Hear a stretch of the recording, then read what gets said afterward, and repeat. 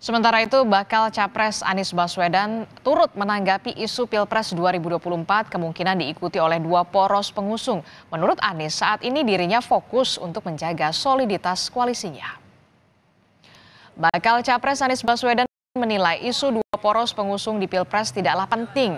Menurut Anies saat ini yang penting adalah menjaga koalisinya tetap solid.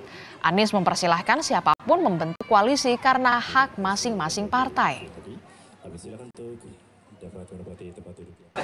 Jadi buat kami penting koalisi ini solid.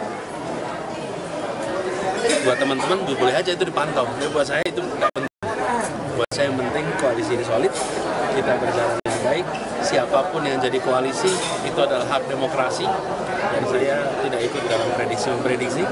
Saya ikut di dalam usaha untuk menjaga koalisi ini tetap makin solid.